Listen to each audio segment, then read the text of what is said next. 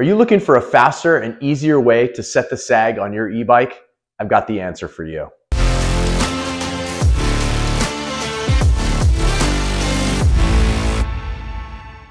It's called Slacker. It's a digital suspension tuner that will make setting your sag simple, fast, and precise. Today, we're gonna show you how to set your sag on an e-bike using Slacker.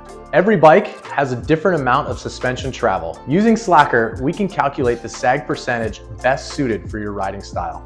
Front suspension is linear, and the total travel is provided by the manufacturer, so an initial measurement is not required. The rear suspension is not linear, so it will be required. Initial measurement only needs to be done once, and this can be added to the app or written down.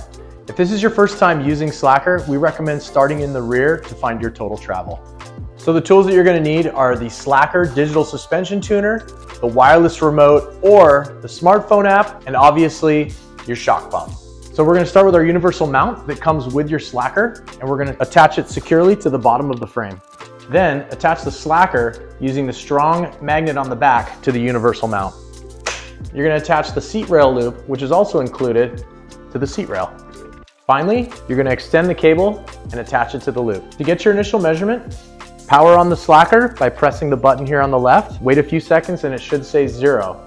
After turning it on, if it does not read zero, simply click the power button to reset it to start back at zero. You're now ready to take your initial measurement. Please note, your seat post should always be in the same exact spot throughout your entire measurement. We recommend keeping it at full height.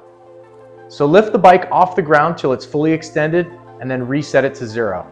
You are now fully extended and this is your starting point. Next, you want to find the valve on your shock and bleed out all the air. As you compress, the slacker will begin reading the travel. Make sure to compress the rear fully until it bottoms out. The final reading on the slacker is your total travel, and that's what's used to calculate your total sag. So how do you figure out rider sag? A simple formula is total travel times a percentage of travel that you prefer equals rider sag. If you're not sure, check your owner's manual for recommended rider's sag percentage. So in our case, we have a total travel of 112 millimeters. We like riding at 30% sag, which is a very common setting.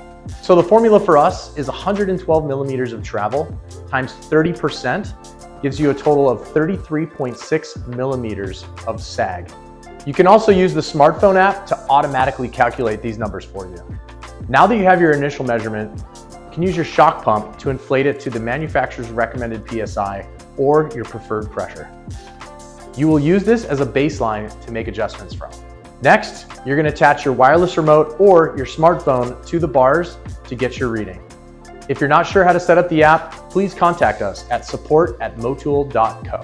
You're gonna wanna place the bike near a bench, a stool, or a wall so that it can balance properly and you're able to mount and sit on the bike, preferably with all of your gear on. Once settled, take note of the number that's reading on either the wireless remote or your app. If the reading is higher than your sag goal, add air. If it's lower, you need to bleed out some air. Repeat this step until the sag goal setting is reached. And there you go. That's how you get a precise reading on your sag of your rear suspension. Okay, so now that we're done with the rear, we're gonna be moving to the front. You're gonna wanna take your slacker mount, attach it to the base of the fork, then attach the slacker using a strong magnet to the universal mount.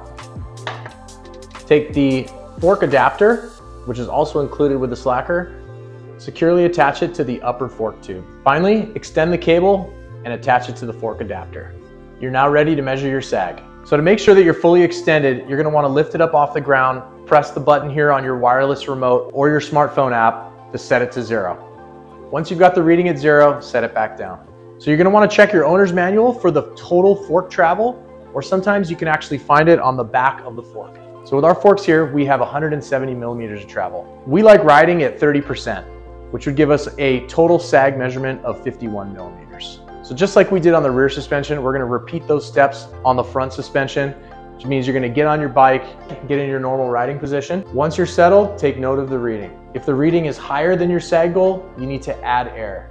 If it's lower than your sag goal, you're gonna need to bleed out some air. And that's it. You've now successfully set your sag on your front and rear suspension, and you're ready to hit the trails. All right, guys, this completes the video for today. I hope you enjoyed it. And I really hope that this not only helped improve your setup, but it improves your riding as well. Remember to like, subscribe, please leave us a comment, let us know how this worked out for you. If you have any questions, need any help with your setup, please reach out anytime to support at motool.co. We're happy to help. See you on the trails.